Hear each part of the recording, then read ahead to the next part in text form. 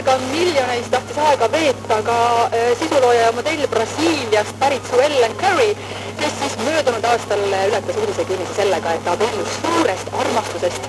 iseendaga. ja nüüd on siis selgunud, Elu kakskümmend kirjutab, et baariteraapia purus ja tal hakkas igav ja ta nõuab, et iseendalt ka seda muutust. et ta tahtis täie kunstist, tahtis sellega aega veeta, tahtis üksine olla ja, ja siis otsustas, et ta ikkagi ka